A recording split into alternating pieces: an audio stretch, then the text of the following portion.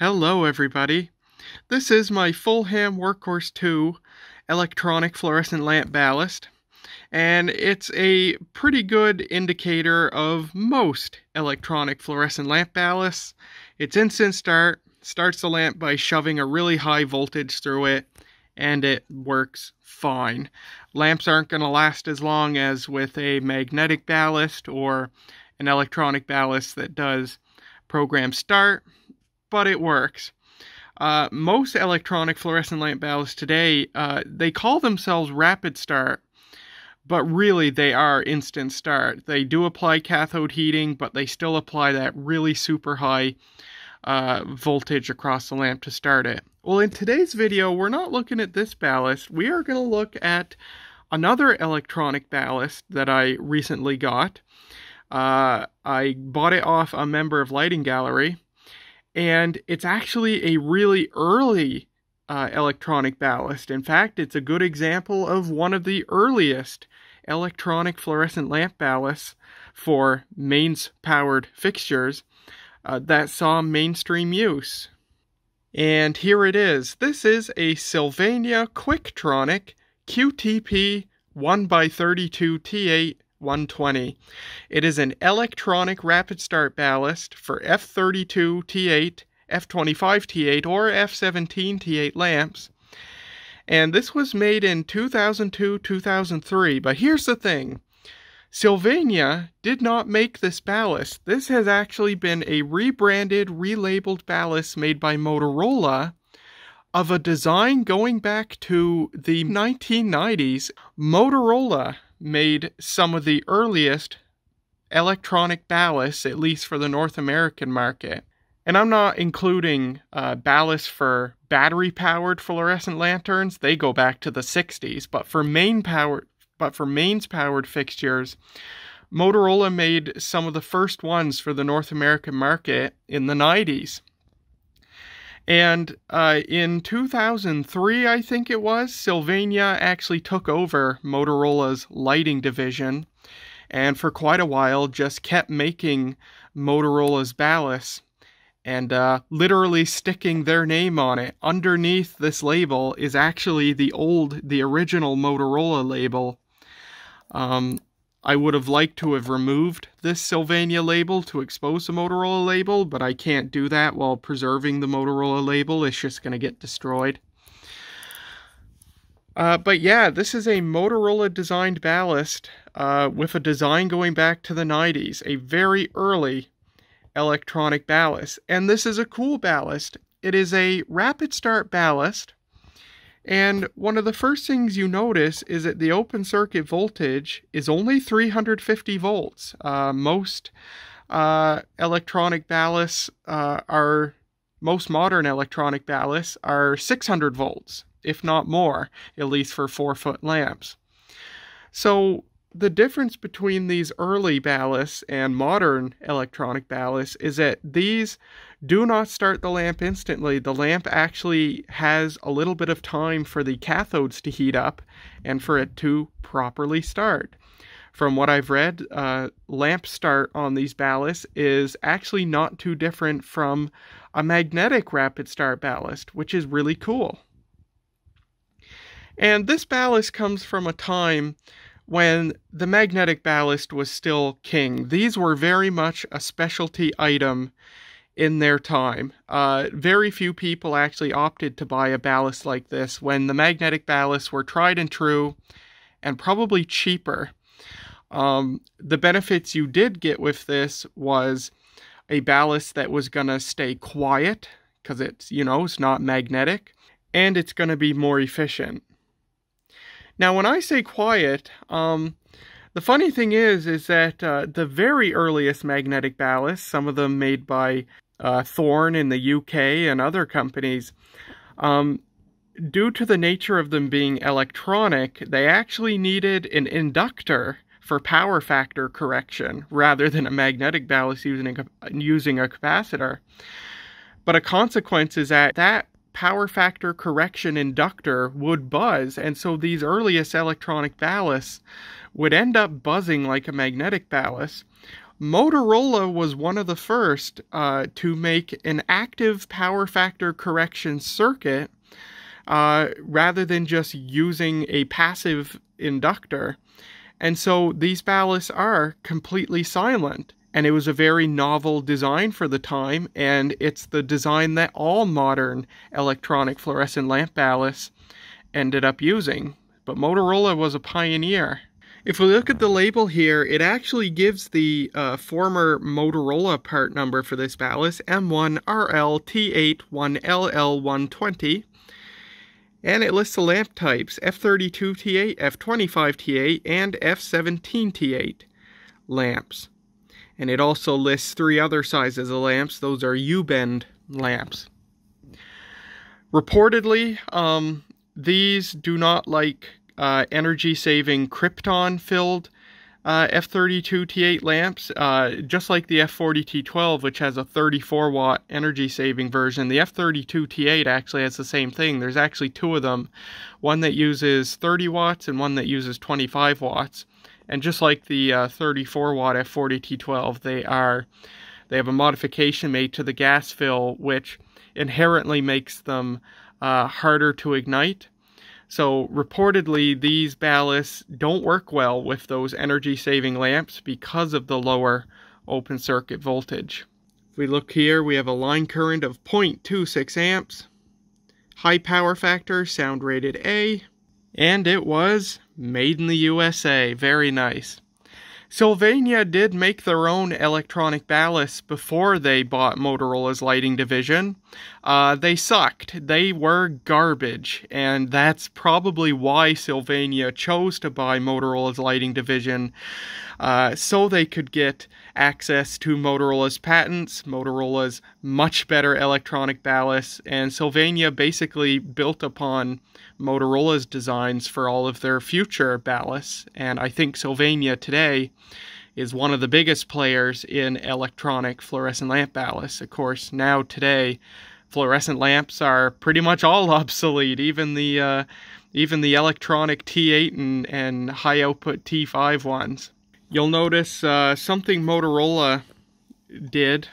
They uh, stick the wires into these little wire grip insert things. And I think the purpose of that was that these ballasts could be drop-in replacements for existing magnetic ballasts. You basically clip the wires at the magnetic ballast and uh, strip those wires and then insert those wires straight into the terminals you can see.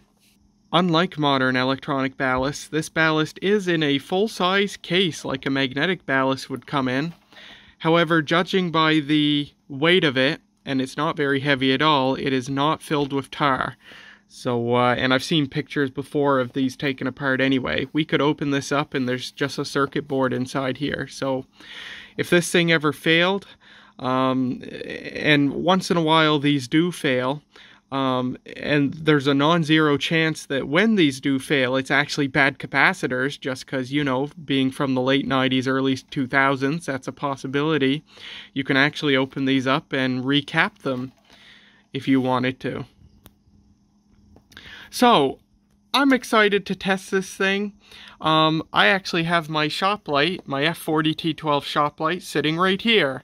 Uh, I just finished uh, using it with the video of the radionic terrible magnetic F40T12 ballast. So, let's install this ballast, let's grab some lamps, and uh, let's do some testing. I'm excited to take a look at a vintage, early electronic ballast.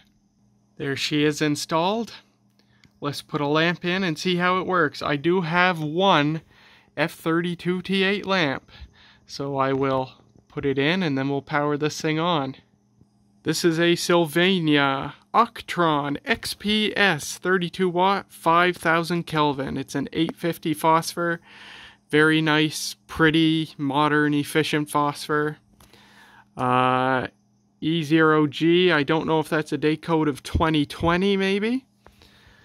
But let's power it on and see what this ballast is like. I'm very interested to see what it behaves like, particularly the startup behavior. Is it going to be like most modern electronic rapid start ballast that basically have an instant start, or is it actually going to have a true rapid start startup like a magnetic ballast? Let's find out. Oh, interesting.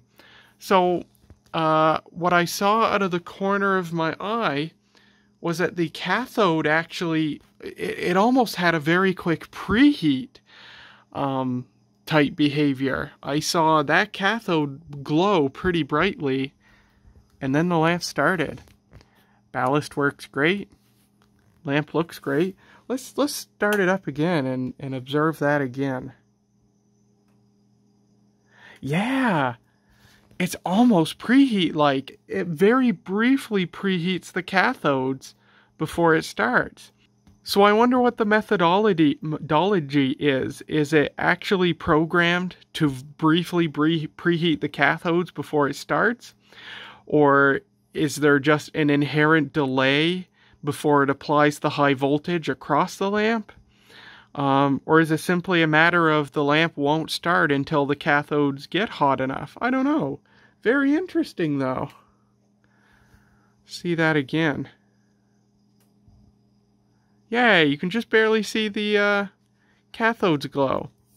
Now I'm wondering, what's our power like? 28 watts, 0.22 amps, and nearly perfect power factor. So yeah, pushes the lamp with most of its rated current. Now I'm, I'm really curious, so I'm going to do something a little naughty. I'm going to unplug one end of the lamp and just plug in one end.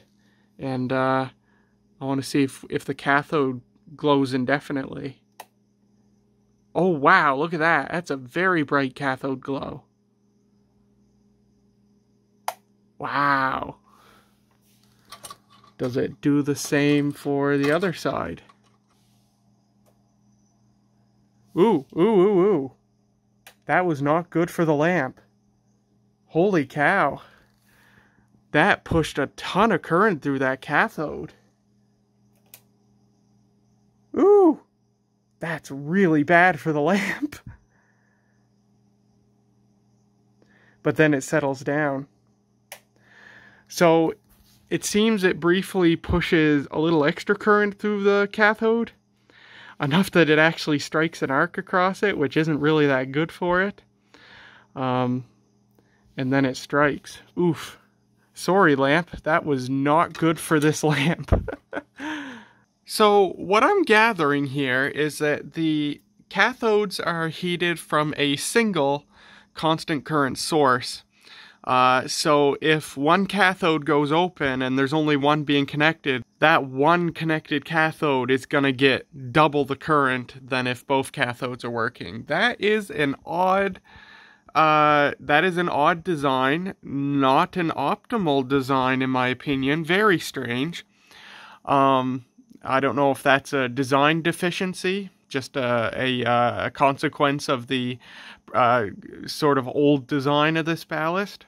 Or is it a reasonable design trait because if if the lamp is working but it has a blown cathode, then it might struggle to start, but maybe by pushing the one working cathode with extra current, it gives it a better chance of starting, maybe?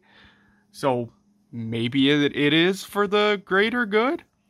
I don't know, but very interesting design. So I'm going to try something else now. Um, I have this end properly connected, but this end only connected by one pin, so it's simulating an otherwise good lamp with a blown cathode. So let's see what it does.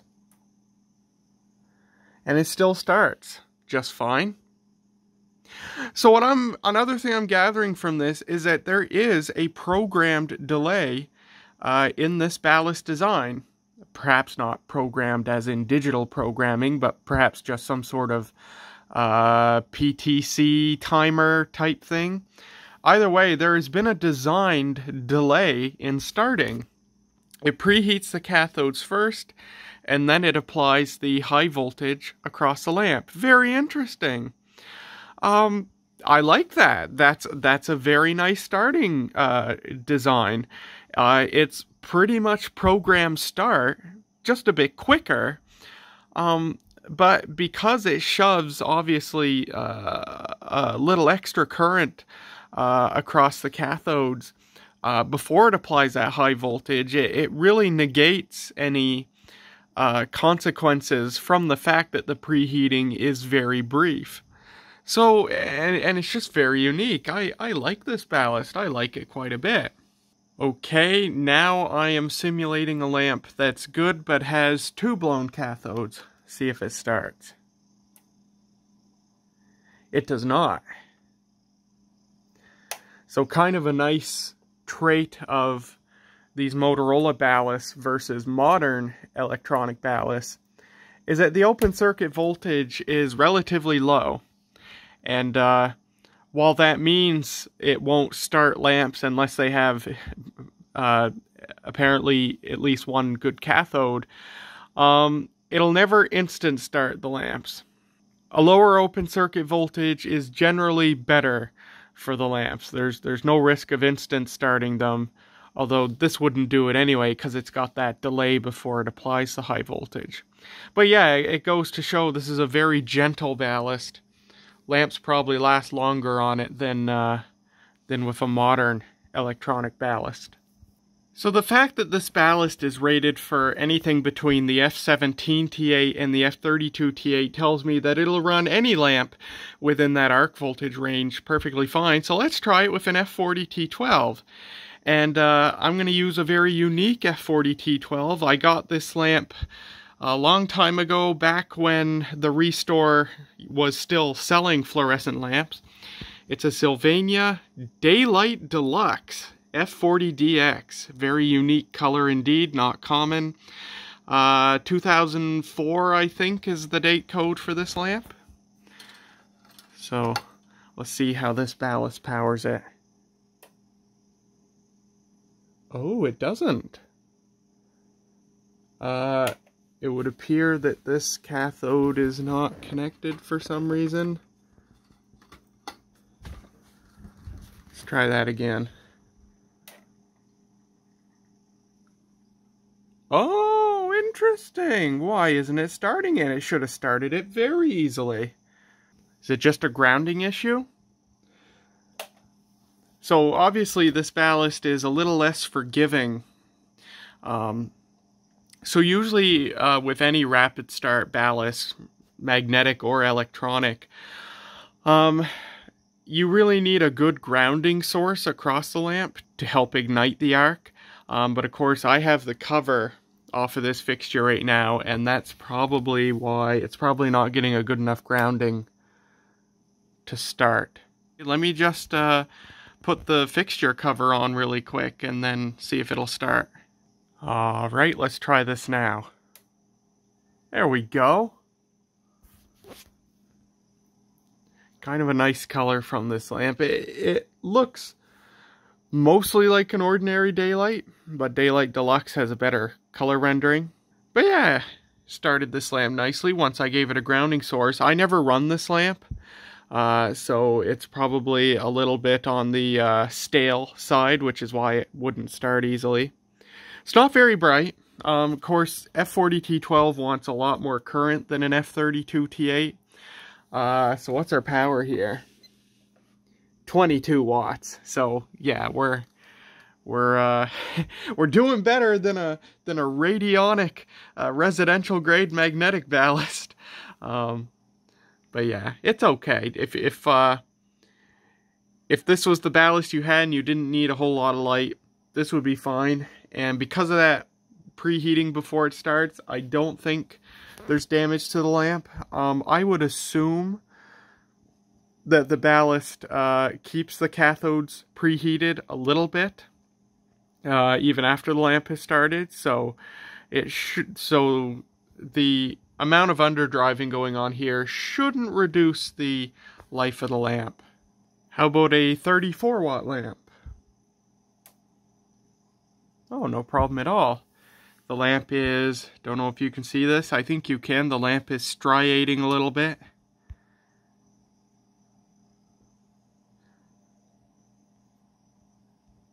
But no, no big issue. That'll calm down.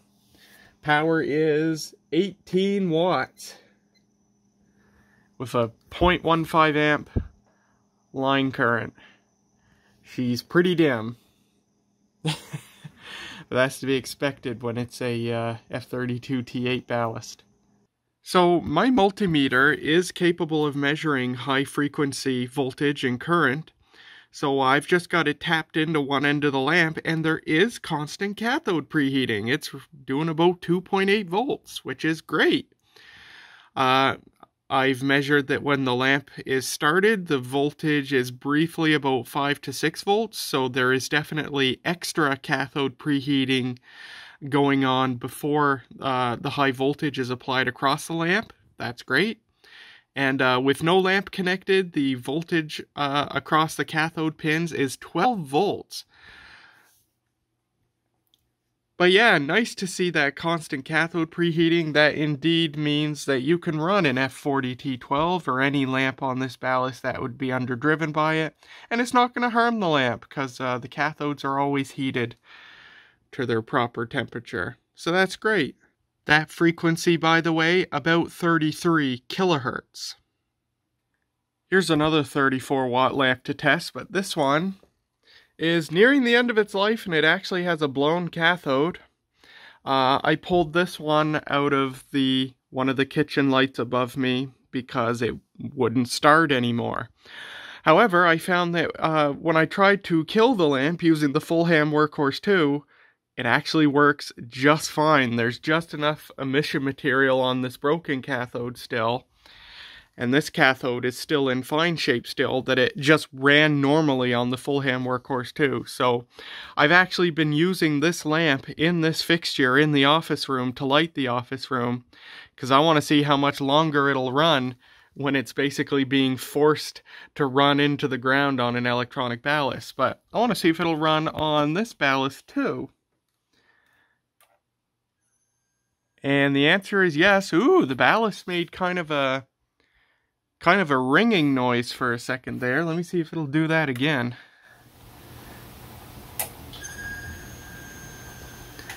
Yeah, it makes a bit of a ringing noise. It, just must be because of the, uh, just because the lamp's not in great shape. The arc voltage is probably really high when it starts off, so it kind of stresses the ballast a little bit.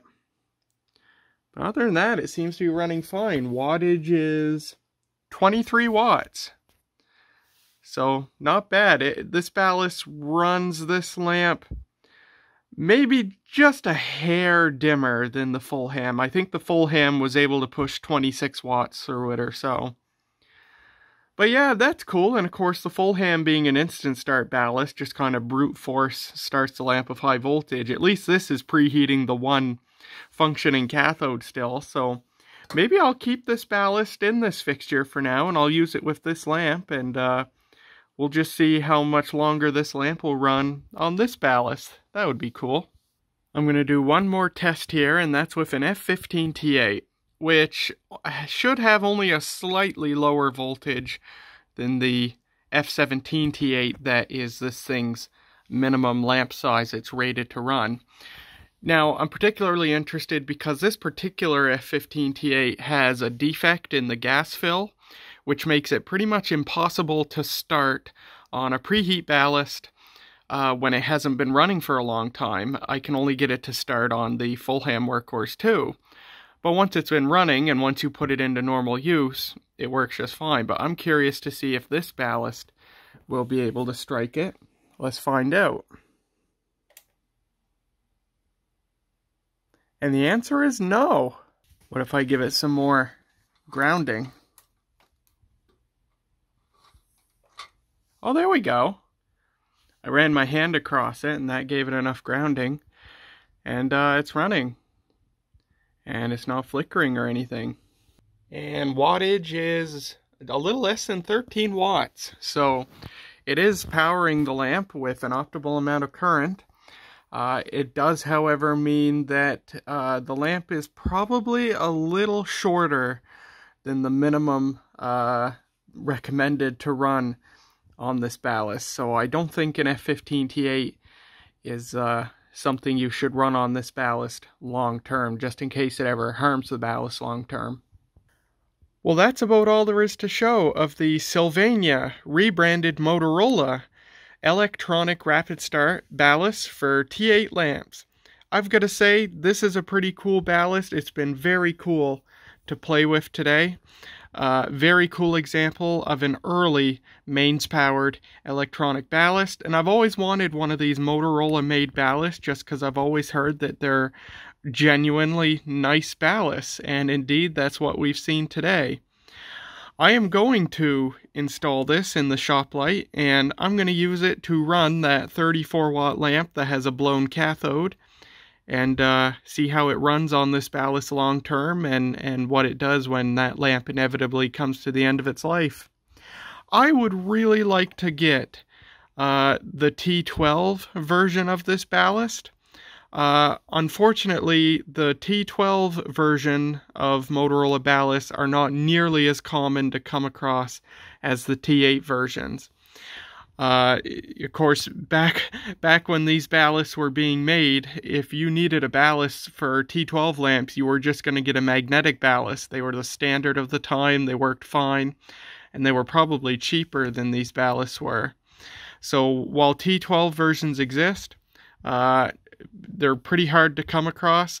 Uh, looking on eBay while I'm making this video, there's a few 277 volt versions on eBay, but no 120 volt single lamp versions. I think there's one 120 volt three lamp version, but I'm not interested in that. So, yeah, not common to come across, but hopefully I'll find one someday.